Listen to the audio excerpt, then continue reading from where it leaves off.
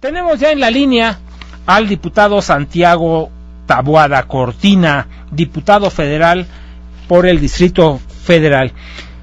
Diputado, presidente de la Comisión de Seguridad Pública, integrante de la Comisión del Notariado y Población y Desarrollo, cuando era diputado allá en la Asamblea Legislativa del Distrito Federal, ¿no? Ahora como diputado federal propone que se destinen más de cuatro mil millones de pesos para servicios públicos de la Ciudad de México. Señor diputado Santiago Taboada, agradezco mucho el que nos tomes la llamada. Eduardo, muchas gracias. Eh, gracias por el espacio. Diputado, cuando dicen que prometer no empobrece, ¿no? El dar es lo que aniquila y nos preguntamos con toda esta crisis que se viene, ¿de dónde podrán salir estos recursos y serán suficientes considerando que el gobierno eh, federal ha manifestado que será un presupuesto austero el de 2016? Mira, eh, comentarte que esta propuesta se hace derivado de, pues una reforma a la ley de coordinación fiscal.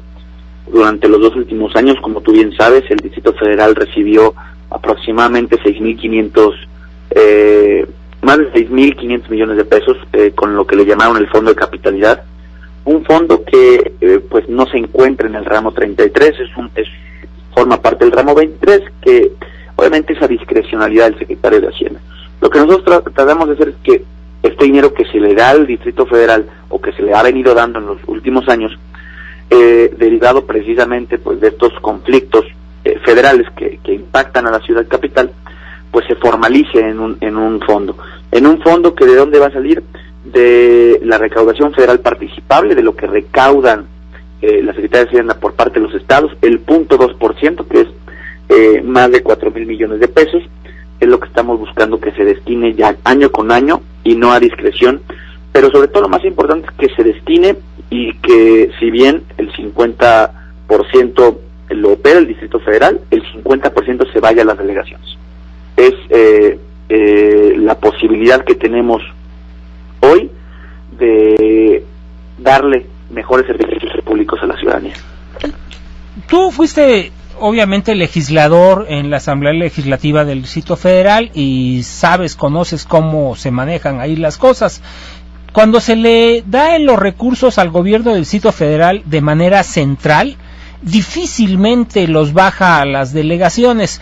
¿Cómo se tendría que hacer para que estos recursos, en caso de que los haya, se pueda eh, destinar y se den a las delegaciones y lo puedan ejercer?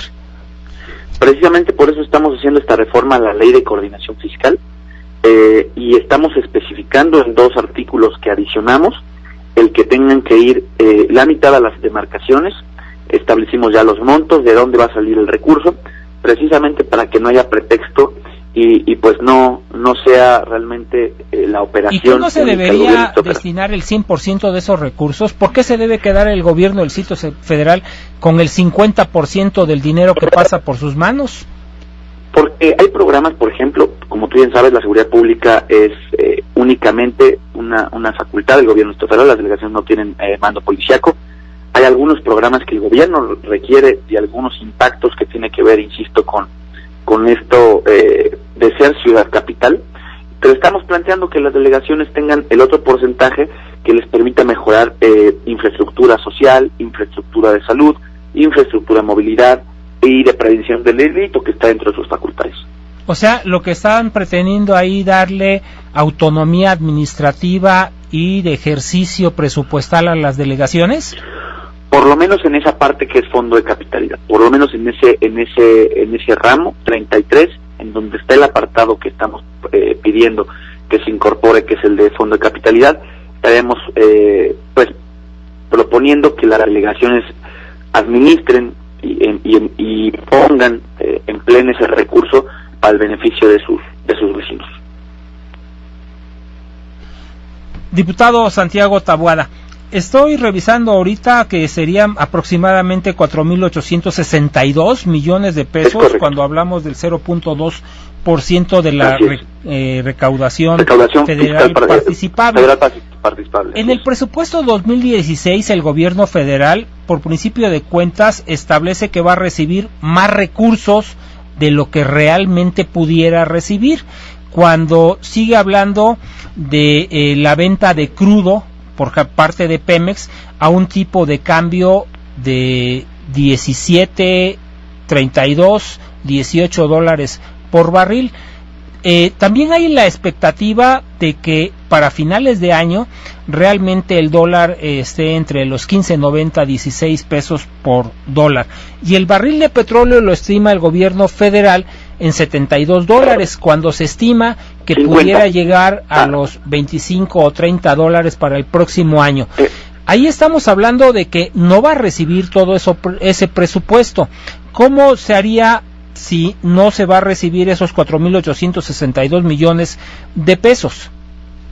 Por eso se plantea el punto 2, para que sea una cifra, una cifra que realmente va, va a tener un impacto eh, directo con, lo, con, pues, con esta recaudación federal participable.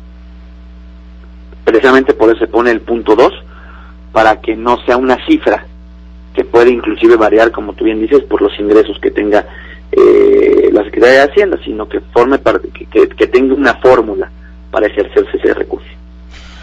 Diputado Tabuada, si no los permites, le vamos a dar seguimiento a estas acciones, la propuesta que están ustedes haciendo y eh, ver la posibilidad si nos puedes acompañar en esta mesa de trabajo para ahondar sobre los temas que tienen en la agenda ustedes allá en Cámara de Diputados.